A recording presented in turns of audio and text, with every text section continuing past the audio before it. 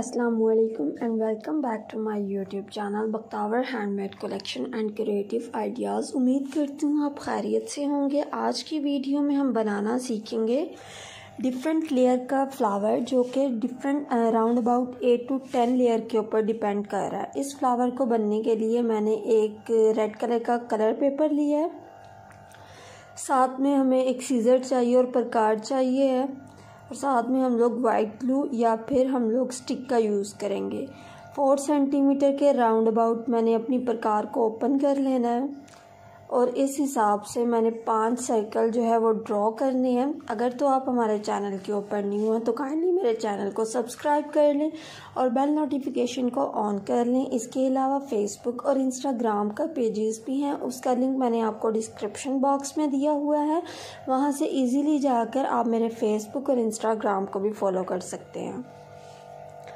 Five circle आपने draw करनी है। अगर आपने बड़े साइज़ का फ्लावर बनाना है तो फिर भी आपकी मर्ज़ी है। आप फोर सेंटीमीटर से बड़ा भी अपना साइज़ जो है, वो फ्लावर का रख सकते हैं। मगर मैंने ज़्यादा बड़ा नहीं बनाना है। मैंने जस्ट ओनली मीडियम साइज़ का फ्लावर बनाना है तो इसके लिए मैंने फोर सेंटीमीटर के फाइव सर्कल को ड्रॉ कर लेना है। कलर आप अपनी मर्ज़ी से जो भी लेना चाहें, वो आप ले सकते हैं। मैंने कलर पेपर लिया है। आपने भी कलर पेपर ही लेना है क्योंकि इस पेपर में इजीली कर्व आ जाते हैं। जबकि अगर आप कोई और पेपर लेंगे तो फिर उसमें कर्व्स नहीं आएँगे। तो इसलिए आपने यही पेपर लेना है। आप मार्केट से इजीली इसको कलर पेपर के कह के आप ले सकते हैं। हमारे सर्कल जो है वो ड्रॉ हो गया मैं सीज़र के साथ कटिंग कर लूँगी। आपने बिल्कुल राउंड कट करना है।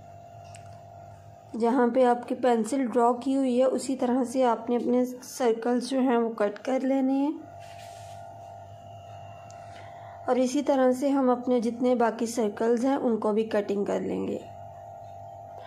आप ये फ्लावर अपने बच्चों की डिफरेंट ड्राइंग्स के ऊपर भी लगा सकते हैं, अपने बच्चों को भी ये फ्लावर बनाना सिखा सकते हैं। इसके अलावा आप कोई डेकोरेशन पीस बनाना चाहते हैं तो फिर उन डेकोरेशन पीसेस में भी आप इन फ्लावर्स को यूज़ कर सकते हैं। हमारे जो पेपर्स हैं सर्कल जो बिल, बिल्कुल ड्रॉ हो गए हैं अब मैं क्या करूँगी कि मैं हर पेपर को सेंटर से फ़ोल्ड करूँगी और सेंटर से फ़ोल्ड करने के बाद मैं इसको इस तरह से एक दूसरे के साथ कंबाइन करके इस तरह से इसका पैटर्न ड्रॉ कर लूँगी। इसी तरह से आपने बाकी सर्कल्स को भी कर लेना है। इसका ये फ़ायदा होगा कि हमारे पास एक पैटर्न हम लोग ड्रॉ करने के लिए हमारी पेटल्स बन जाएँगी।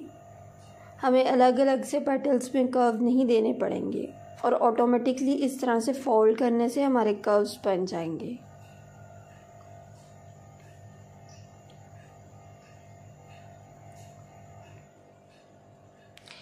जॉइंट्स को आपने अच्छे से कंबाइन करना है, कोई भी जॉइंट्स जो है वो आगे पीछे नहीं जाना चाहिए। अगर आपके जॉइंट्स जो हैं वो आगे पीछे हो जाएँगे तो फिर आपकी फ्लावर्स की पेटल्स जो हैं वो आगे पीछे चली जाएँगी। तो इसलिए आपने जॉइंट्स को एक दूसरे के साथ कंबाइन करना है और इस तरह से आपने पैटर्न ड्रॉ कर लेना है। और हमारी जो है प्रॉपर एक पेटल में आ जाएगी, हमारी पेटल्स ये डिफरेंट लेयर राउंड अबाउट इसमें हम लोग नाइन टू टेन हमारे पास लेयर होंगी पेपर्स की। हमारी जितनी भी पेटल्स हैं वो इन्हीं पेपर में से निकलेंगी।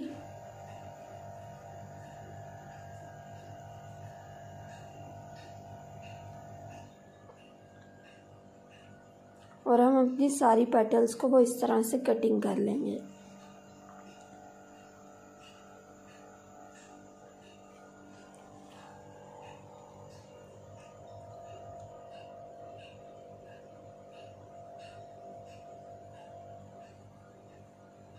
अभी हमारी पेटल्स जो हैं वो रेडी नहीं हुई हैं। अभी हम इनमें से ही अपनी और पेटल्स को निकालेंगे।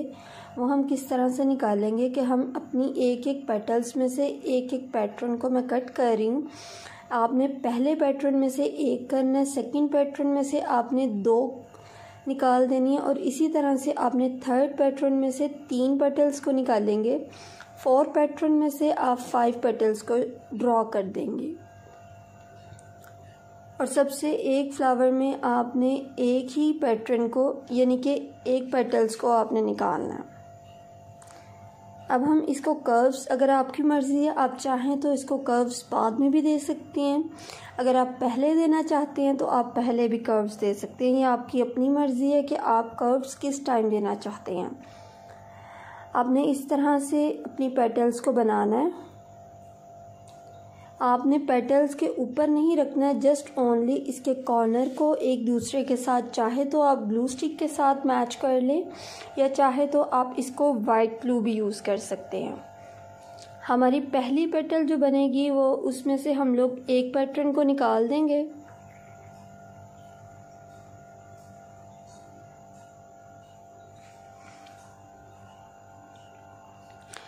ग्लू को आपने उस वक्त तक कंबाइन करके रखना है जब तक आपके पेपर्स जो हैं वो एक दूसरे के साथ उसके जॉइंट्स कंबाइन ना हो जाए।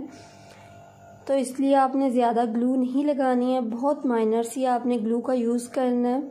अगर आप ज़्यादा ग्लू पेस्ट करेंगे तो फिर आपके जो है फ्लावर्स ड्राई देर से होंगे तो इसलिए आपने ज़्यादा ग्लू नहीं लगानी है। बस सिर्फ़ आपने उतनी ही ग्लू लगानी है कि आपके पेपर्स के एजेस जो हैं वो एक दूसरे के साथ कंबाइन हो जाएँ। हमारी फ़र्स्ट पेटल जो है वो रेडी हो गई है। अब मैं इसको कर्व्स दे लूँगी कर्व्स देने के लिए मैं अपनी सीज़र ही यूज़ कर रही हूँ। अगर आपसे सीज़र से कर्व नहीं आपने देने आते हैं तो फिर आप कोई सी भी ब्रीक से स्टिक लें और उसको अपनी पेपर के ऊपर फोल्ड कर दें।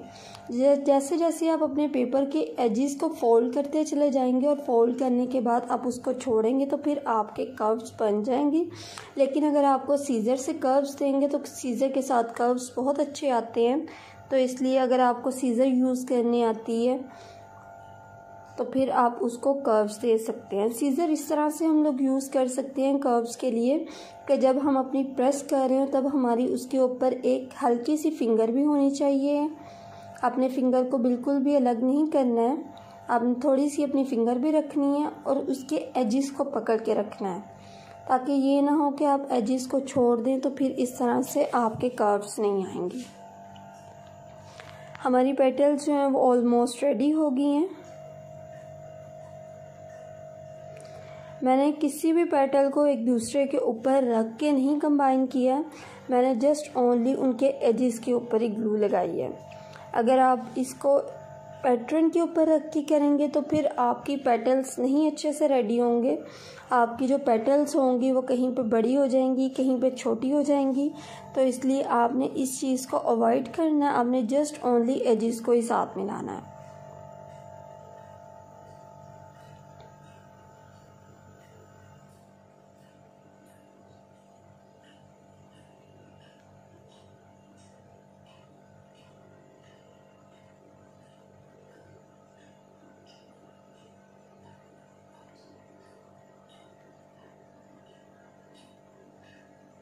इसके अलावा मेरे चैनल के ऊपर डिफरेंट टाइप्स के हैंडमेड ज्वेलरी है हैंडमेड आर्टिकल्स हैं। आप उन वीडियोस को भी जाके देख सकते हैं।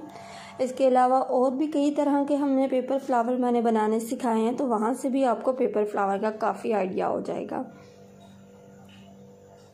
अब हम इन फ्लावर्स को कंबाइन करेंगे और बिल्कुल सेंटर में मैंने थोड़ी थोड़ी सी ग्लू लगानी है और ग्लू लगा के मैंने उसको बिल्कुल सेंटर से अपने एक थोड़ी देर के लिए प्रेस करके रखना है। आपने इस तरह से कंबाइन करते हुए चले जाना है।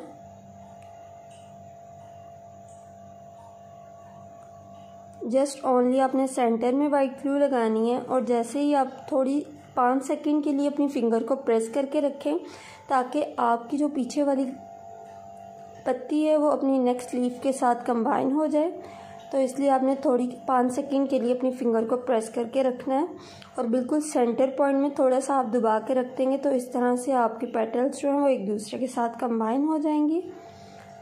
मेरा फ्लावर जो है वो ऑलमोस्ट रेडी हो गया। अगर आपको कोई चीज़ समझ ना आए तो फिर आप कमेंट में पूछ सकते हैं। वहाँ पे मैं इजीली आपको गाइड कर दूँगी। उम्मीद करती हूँ कि आपको आज की ये वीडियो पसंद आएगी। अल्लाह हाफिज़।